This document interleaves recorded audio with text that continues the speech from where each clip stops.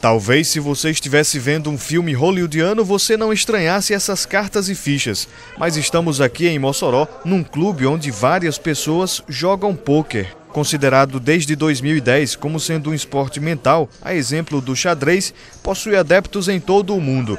Nas horas vagas, este petroleiro costuma jogar algumas partidas, mas tudo começou vendo filmes. Achava interessante, mas nunca sabia como estudar, né, como começar, e aí começou a, a ouvir na televisão, né? Aí eu fui pesquisar na internet e aí fui gostando e faz um bocado de tempo que eu jogo aqui. É um esporte bom, raciocínio. E é muito bom mesmo, eu acho jogar para passar o tempo também. Há quatro anos existe aqui na cidade o Chip Leader Mossoró, que tradicionalmente realiza o circuito local de pôquer. Quem explica é Pablo, organizador do evento. Nós estamos é, formando esse circuito com sete etapas anuais e é para os amantes do esporte mesmo, para os jogadores frequentes aqui na cidade de Mossoró que, que gostam do nosso esporte.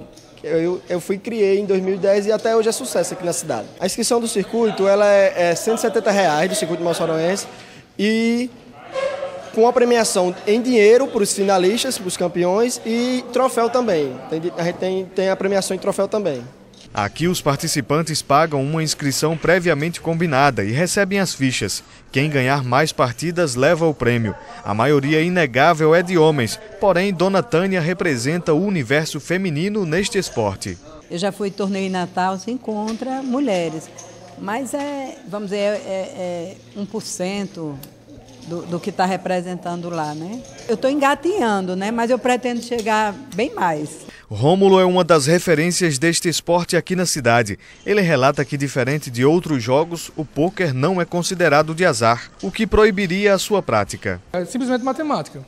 E é por isso que sempre os melhores jogadores estão chegando sempre na, na, no final dos torneios, porque eles sabem todas as probabilidades, sabem jogar bem. Você tem que fazer as contas na cabeça e ver se sua mão vale a pena o valor em fichas ou não. Os jogadores costumam blefar, ou seja, iludir a confiança dos concorrentes com expressões faciais para ganhar cada partida.